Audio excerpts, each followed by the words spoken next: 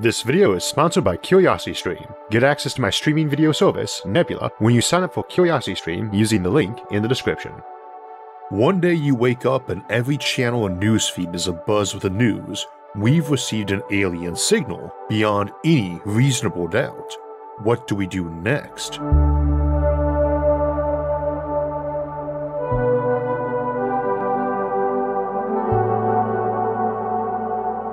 All of our discussions on the Fermi paradox on this show and by others is predicated on the notion that there's been no unambiguous extraterrestrial signal sent to us or overheard. There's a lot of proposed reasons for why this should be the case, ranging from aliens simply not existing to them landing here regularly and us just not seeing and believing it.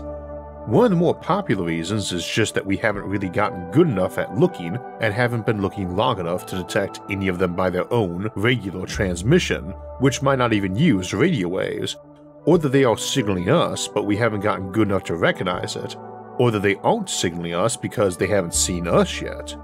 We'll be examining a few different scenarios today for what we might do if we either receive or spot an unambiguously intelligent signal from space but let's start with that one. Our own radio signals have only penetrated about a light century out from Earth, which is not even a millionth of the volume of this galaxy, and that itself would be a region 8 times bigger than the smaller volume, close enough for them to have received a radio signal from us and for us to receive one back from them. Half the distance and an eighth the volume to include the time for a return trip for a message. Assuming aliens don't really expand beyond their own solar system much, you could have over a million alien civilizations around the galaxy who still haven't heard of us but would cheerfully send a reply by tight beam laser once they did. Indeed, if you emerged in a galaxy that was crowded with unique homeworlds, in which life had evolved on and yet was still absent of galaxy spanning empires who've claimed every star around them, it would tend to be proof that such approaches were ineffective, in which case nobody is likely to be scanning the galaxy with super intensity for the sake of self preservation or profit. None of your neighbors can send war fleets to you or offer you the secrets of practical space travel because they have neither. Indeed, it's unlikely they can offer you any useful technology, because about the only way we could not have practical space travel to other stars would be if power, energy, propulsion, and automation technology basically maxed itself out in the next few centuries, or honestly decades, way shorter than the time frame for signals to travel between these civilizations after they spy each other's radio signals, especially if they're more like a thousand light years apart and not a hundred. And the reality is that they're not likely to have technologies in other fields that translate well over distance. Alien psychology or biology textbooks might be interesting and contain some gems, but probably not enough to convince your leaders to spend larger sums of money for better SETI gear the galaxy is pretty quiet because alien civilizations mostly communicate to their distant neighbors by tight beam communication, like a laser, and probably only the nearest dozen or maybe hundred, relying on the long web of tight beam communications to pass interesting info along. An awful lot of SETI, the search for extraterrestrial intelligence, is based around this notion or minor variations of it, that nobody out there is in a position to invade us because if they could, somebody already would have by now, over the billions of years we've been around. Nobody views us as a threat because in billions of years of civilizations existing in this galaxy, nobody has thus far figured out a way to be one, so they are not expecting us to have valuable new science or dangerous technology any more than we would expect some uncontacted tribe in the Amazon to show up one day with a new technology that nullifies ICBMs, or possessing sidearms that can shoot through tanks or take out supersonic jets. You would also tend to figure that even if somehow one of your neighbors did suddenly get that technology that changed the game, it would be more likely you would find out about it in time to react rather than be its first victim. Their nearest neighbors might be surprised, but probably not to the point of getting no signal out, and even the sudden absence of signals would put you on guard and result in something like a vengeance camera, a distant satellite monitoring your ward set to send a signal out to your neighbors if someone rapidly blitzed you, which would also have some deterrence value. Long before they've conquered the galaxy, everyone's been on high alert and been able to start getting good intel, and just the knowledge that there was some new tech with certain observable properties would likely spur its reinvention elsewhere, given the thousands of years you would have to work on that problem. Someone suddenly inventing FTL might change that, although probably not. Your odds are too good someone got their hands on one, A scout ship getting damaged accidentally and recovered, for instance, with its partially intact warp drive, or even defected or ran off with the tech to start their own splinter empire. Even if not, our own situation would be a strange one as it assumes that such FTL technology just got discovered relatively recently compared to the age of the universe, which is really no different than our own usual approach to the Fermi paradox of assuming intelligent civilizations are ultra rare and growing more probable as the universe ages, such that you've only got maybe a handful in our entire supercluster of nearly a million galaxies, let alone our own tiny corner of our galaxy, FTL is recent because only recently has anyone come into existence able to invent it. Now, the original favorite solution to the Fermi paradox was basically this one we've been discussing life is pretty rare and intelligence rarer, but fundamentally, that interstellar travel was essentially impossible in the practical sense. Civilizations are stuck on their world, maybe with a few interplanetary colonies that never really thrived any more than an Arctic outpost or settlement might and any interstellar colony was some economy crippling prototype that took centuries to get done and resulted in some weak dottle colony that never benefited its homeworld and diverged a lot over the centuries to come, so you felt no special kinship to them and even worried you might have planted a threat on your border rather than the seeds of a galactic empire. And you've still got doomsday weapons, and if there's a finite chance in a given year you might use them, even just one in a thousand, well, you've probably got a civilization lifetime measured in centuries, the same short timescale it takes to get a message to even your nearest neighbor. That's basically the SETI 1.0 working premise, inspired by the state of play in the world of Enrico Fermi in the 1950s, having helped invent the nuclear bomb but died before the space race and moon landings, and after that it seemed more plausible we might find a way to get to space and stay there, which led to the belief that space colonization was possible and practical, and thus it didn't matter if alien homeworlds averaged 10 light years apart or a hundred or a thousand or even a million, because those timelines are just so small compared to the billions of years our universe has been around to matter for the purpose of spreading outward and colonizing everything. This is essentially the Hart conjecture to the Fermi paradox in the 1970s, and Michael Hart also coined the term Fermi paradox. Channel regulars are familiar with this already, but it bears repeating because if we get a SETI signal tomorrow by classic radio or laser beam, some unambiguous artificial signal that needs decoding, then the starting point on deduction switched back to Fermi's default view, but a bit more optimistic. We just got signaled by someone who probably does not have either FTL or practical space travel, or alternatively does have the ability to colonize or conquer, but does not have the motivation for it, and does not think anyone else does either, which would tend to imply they felt it was pure common sense and mathematical inevitability that folks would view it as a waste of time. In that last case, there's a good chance the signal, once decoded, would include the reasoning and historical evidence backing that claim, and in that case, we obviously want to make our post SETI action to be determining a confirmation of those claims. In their shoes, part of how I would do that on the front end is to include a lot of coordinates and frequencies for other folks' signaling, including very distant and weak ones, which would mean old ones. That provides strong evidence you're either telling the truth or can fake signals from ancient and wide ranging sources, which means you have them so surrounded that there's no real reason or need to lie. You essentially have a universe where your near or neighbors were definitely aware your world existed and showed every sign of life by probably whatever their equivalent of the 22nd century was.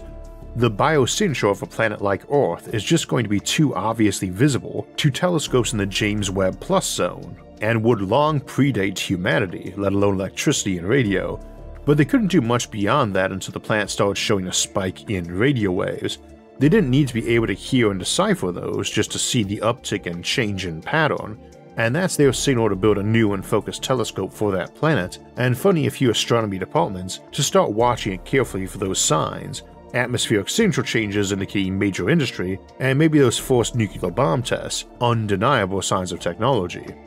Note we were kind of sliding back and forth between what they probably do and what we would then do, because the nature of this setup, this universe, is that everybody has already had eons to come up with the best strategy, and no one has an exclusive knowledge on it. As the first contactor, your goal is either to scam this new civilization or to establish yourself as a trusted source of information in the long term, and the only valuable coin you have to trade is information, and only those parts unique to your world or your speed and veracity of relaying on galactic gossip. To me, that tilts toward a network where everyone is agreeing to pass on galactic gossip unadulterated, because it's not a telephone line, just a web of tight beams that information can pass along many paths on. So your neighbors will quickly notice if you're lying, relatively speaking, considering light lag, and unlike gossip, won't have too hard a time figuring out who started it. That may or may not include each civilization getting the glass beads treatment, conned by getting something they truly valued but didn't realize was dirt cheap elsewhere, which might be your older and closest neighbor racing to send you all the technological advancements they can offer and merely asking for your cultural and history files in return. We would trip over each other grabbing that deal, not realizing that we basically got scammed on what really pays the galactic scale. All that history, art, TV, and so on, not that blase tech everybody already has. Now, what's wrong with this theory? Well, first off, the whole reason we call it the Fermi paradox is because this state of play now seems paradoxical. This was Fermi's perspective back when blowing yourself to smithereens seemed quite likely, and getting to another world seemed quite unlikely. The paradox came when we started thinking those odds looked different. A universe where space travel is practical and life is common is not one where the galaxy is 13 billion years old and there's valuable real estate still lying around. It's not even one where Earth gets conquered, it's one where somebody was already colonizing this galaxy when Earth formed, and they snapped it up and terraformed it. So either the galaxy isn't covered in civilizations, or it is and we are nature preserve or experiment, variations on what we call the zoo hypothesis. In that universe, it really doesn't matter what we do because we're seen as some emerging butterfly from its cocoon, or locust. They're either very glad we were on the scene and just decided now is the time to say hello, or the message they sent us is essentially either a flat warning about what we are and are not allowed to do, or an apology they're going to need to exterminate us to restore the preferred state of this world.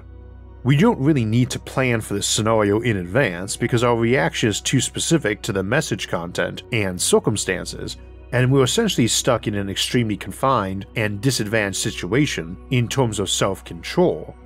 Even if they are throwing a celebration across this local region of the galaxy that Earth has finally spawned a wonderful new companion for them all, it's still going to be them essentially dictating the nature of the relationship for the foreseeable future, even if it's not just parental but full on spoiled kid circumstances.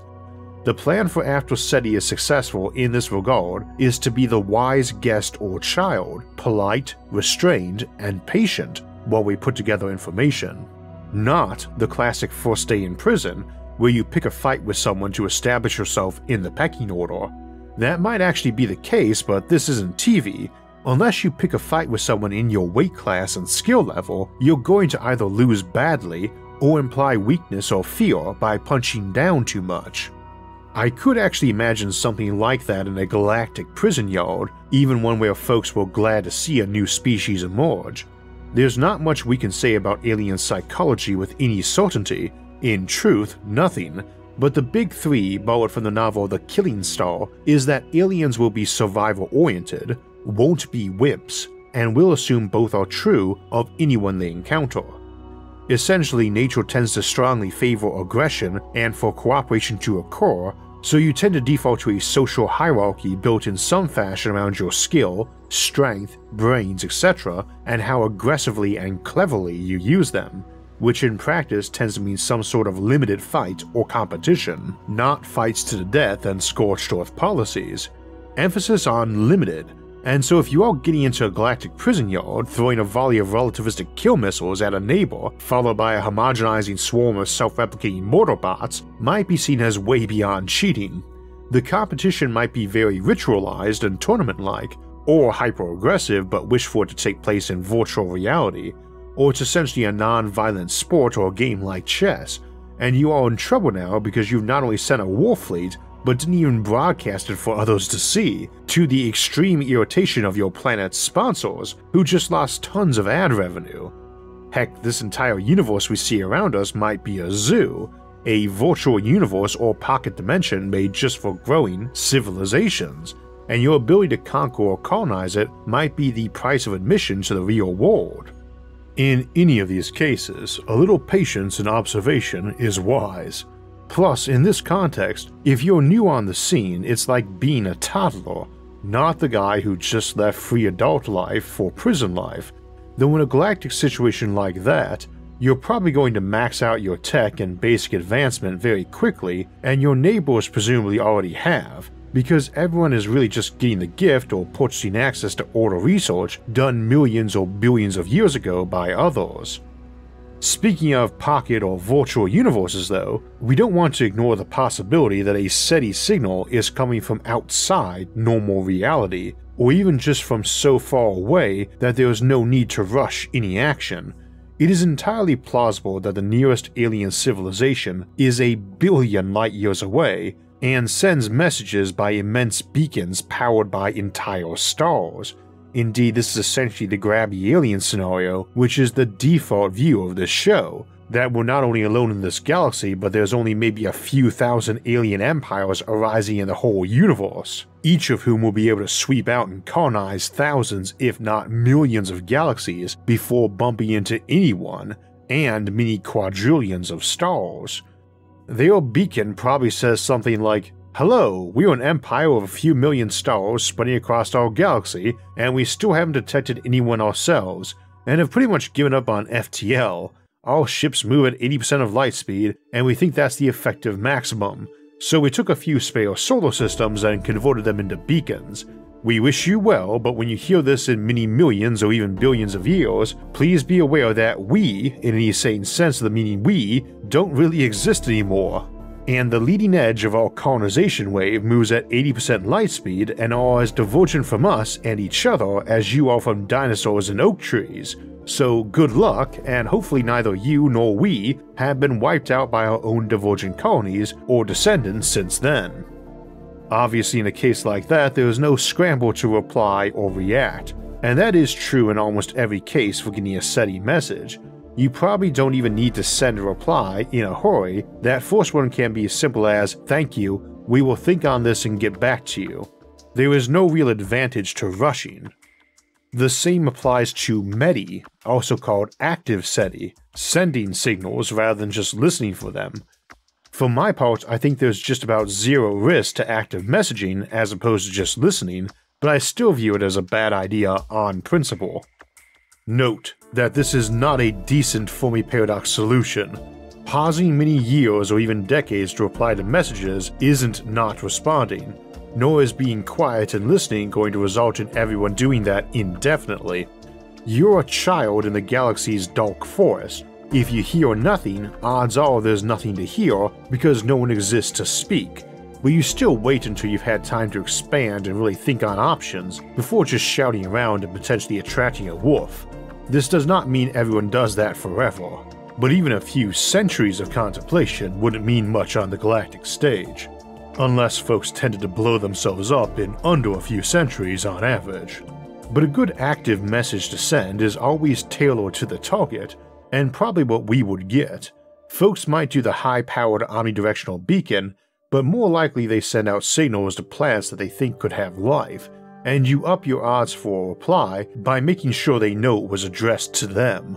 Same as you get around spam filters and such by including personalized data in a message, you might send your message to that planet by laser and post it with a ratio of their planet's year and day length. So we might expect to get a message that had a break every 1024 bits of data, being nicely binary, 2 to the 10th power, or maybe 1080 or 1920 because that's our default image size these days, and that break or pattern says a new line of the image is beginning, they might send us images that were 365 pixels wide and paint a picture of the planet or solar system with that. And the upside there is that it's not a wild call into the night, but rather knocking on someone's door, or even the window of their dining room while they're eating. It says, You might as well reply because I absolutely know you live here, you can double down on that if you've been able to monitor their planet well enough to decode their languages too, in which case the message might be 365 by 24 pixels and just read, Hello Earth, tune in to 109.7 FM for our introductory message. So that's the plan in terms of responses. You start by patience and not rushing to reply, and you ask yourself first and foremost what the message tells you about the state of affairs in the universe, or multiverse, and the folks sending the message. And one thing it tells you up front is that conversation is useful, which means diplomacy is at least on the table. Otherwise, they would never have sent a message, and that is valuable information. You can add that to what you know, which is probably that they are survival oriented, good at it, tough, and either unwilling or unable to just roll over and consume the entire galaxy, or they did but left pockets alone for some reason. Maybe they don't like crushing primitive wars with unique life, but they also might view intelligent civilizations as friends or unwanted rivals. Patience and humility are in order, but cowering and cowardice probably are not and patience should never be confused with being frozen and unwilling to act. Which takes us to discuss what the effect here on Earth is of such a message. This is a popular topic, of course, and for lots of folks it's when, not if. And I really would stress that notion of patience and humility, but not cowering or cowardice. I think we tend to assume half our population would go insane on finding out about alien life and the other half would fall on their knees and worship their new enlightened overlords. Personally, I don't think that would happen much. I'm not saying you wouldn't have folks suddenly blow their brains out or start worshipping aliens and trying to modify their behavior or even appearance to match aliens. People already do that, but I don't see it as a mass effect. Alternatively, I would be worried about governments or news agencies thinking it might happen and trying to control the narrative to cushion the blow or avoid fumbling attempts at cultural change. I don't think this would result in trying to hide it. You might be able to pull off modest concealment for a few days while confirming it, because lots of groups who might not usually be okay with protected censoring might still go along with keeping things quiet until there was a definite confirmation of an unambiguously alien signal, Getting NASA or other space groups and big news groups to keep hush for 72 hours pending determination and preparations is very different than saying, tell no one until we say otherwise or else. Because everyone is expecting leaks and rumors right from the get go, and those actually can cushion the impact to the public too. Wild speculation for a few days without formal confirmation eases things in a bit, in the long run, which in show context means centuries or even longer, any effort at concealment or shaping the narrative is going to erode away, so it might not matter much, but I think people miss a lot of what the real responses would tend to be. First, yeah, it's going to be a big news item for a bit, and chat at every water cooler and social media group for a time, with talking heads on every news channel and lots of organizations we try to figure out how it impacts them, or how to adapt or profit from the change. Figure on lots of sermons, from the literal Sunday morning kind, aiming to match up or examine the theological impact, to the informal variety you get from that one friend or guy at the bar who has an authoritative opinion on everything, and none of them really agreeing. This is a good thing because if everybody was giving identical interpretations, especially if it was, wow, we are screwed, that would tend to drive wild behavior. We often joke that after a week it would be old news, but that's not really the case either. This isn't that celebrity that did something scandalous, and people remember that years later and still talk about it too. For recent examples, think COVID 19 or the war in Ukraine. Neither was old news a week later, because they were real news, life changing stuff, not entertainment. The moon landing wasn't old news a decade and a half later when I saw it over and over again as a kid on MTV all the time, back when that was the clip they play after commercials before the next music video, back when MTV played music videos anyway. The big stuff doesn't go away, and ironically, this is where saturation and apathy, which we normally bemoan people getting, is actually a saving grace. We are wired up to get back to living life, and that's probably worth remembering next time you're upset at how people don't seem to care enough or forget about something that you think matters a lot. It probably does, but if people didn't do that, we would be crippled by every shocking event and every death in our family. For a species that had to accept death being so commonplace that you would be counted a success if you got to live long enough to have gray hair and watch half your children die before they had children of their own, The ability to just keep going after a big shock is a must have. In that context, discovering aliens would be both big news that died off a lot after a few weeks, and that thing that dragged on for years that people couldn't stop talking about, even when and where you really wish they wouldn't. So, my own advised plan for if we got a SETI success would be a variation on keep calm, all is well. It is a big deal, but be patient. What we know has changed, but the situation itself has not. There's no rush while we decide what to do. Life goes on. Now, the exception to that is that that SETI success is coming in the form of a flying saucer landing at the UN, or a message arriving from their armada demanding our surrender and tribute. In a situation like that, you might as well remain calm and try to act like an ethical and courageous person, because if you're still alive after the fact, then it would be nice to remember that you had kept your act together, and it would probably help you and those around you at least a little. If they blast the planet, it won't really matter if you were cowering in terror or nobly staring death in the face, unless there's an afterlife, in which case the latter is probably the better pick. I know which I'd prefer, but you do you, and honestly, it's not likely to have any real impact on the situation. Unless they're here in some sort of Valkyrie like role, picking the brave and culling the weak, or harvesting ideal subservient specimens for a slave race, and in neither is a prepared plan by us as a civilization likely to matter at all. You just go out and meet fate on your own terms.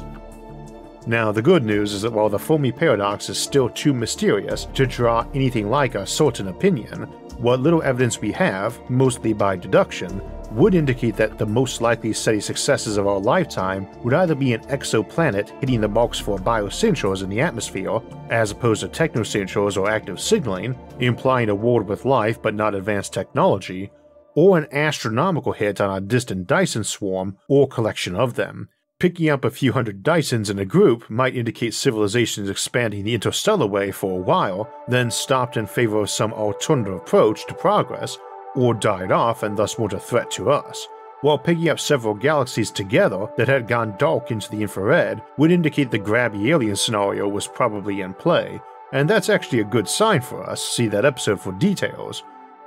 All in all, the big takeaway plan for SETI, for now, is simply patience. Patience if and until it succeeds, because we should always keep our eyes open out there, and patience if SETI does succeed, in gathering more information before acting on it. That seems to be the theme for space, whether it's SETI or multi century journeys to new stars, or decades of achingly slow progress on returning to the moon or getting to Mars. Patience is a virtue, as it is in so many other things, and while often frustrating, it tends to pay off in the end. If you're interested in learning more on SETI and Drake's equation, there's a great show, The Search for Life, The Drake Equation, over on Curiosity Stream.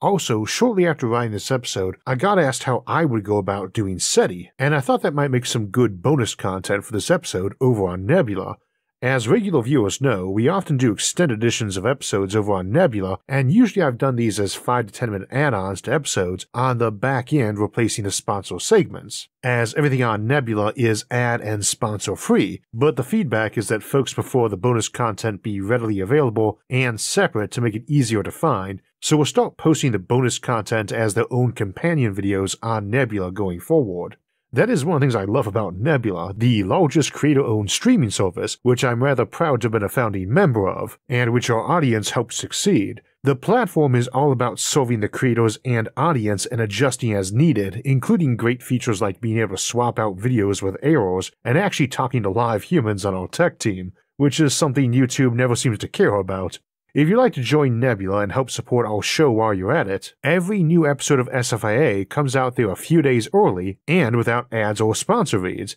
and we have bonus content released exclusively there at least once a month. We also have an audio only version of our show available there too, early and ad free, as a podcast, as well as all of our extended editions and bonus content like we'll be having today, and some Nebula exclusives like Planets vs. Megastructures and the Coexistence with Aliens series. Now, you can subscribe to Nebula all by itself, but we've also partnered up with CuriosityStream, the home of thousands of great educational videos like The Drake Equation. That lets us offer Nebula for free as a bonus if you sign up for CuriosityStream using the link in our episode description. Again, you can get CuriosityStream and Nebula for less than $15 a year. Just use the link in the episode's description. So today we talked about what if SETI succeeds in finding alien civilizations, and next week we'll flip things around and ask what if we never get that message because humanity is the first civilization to ever arise in the whole universe. Then next weekend is our Sci-Fi Sunday episode on interplanetary conflicts and civil wars. And two Thursdays from now we'll contemplate how we might go about farming on new planets like Mars, then in three weeks, we'll look at the controversial idea that our whole universe might be a black hole, and also if it will be possible to retreat into black holes in this universe and live inside them. If you want alerts when those and other episodes come out, don't forget to subscribe to the channel and hit the notifications bell. And if you enjoyed today's episode and would like to help support future episodes, please visit our website, isaacarthur.net, for ways to donate, or become a show patron over at Patreon. Those and other options, like our awesome social media forums for discussing futuristic concepts, can be found in the links in the description. Until next time, thanks for watching and have a great week.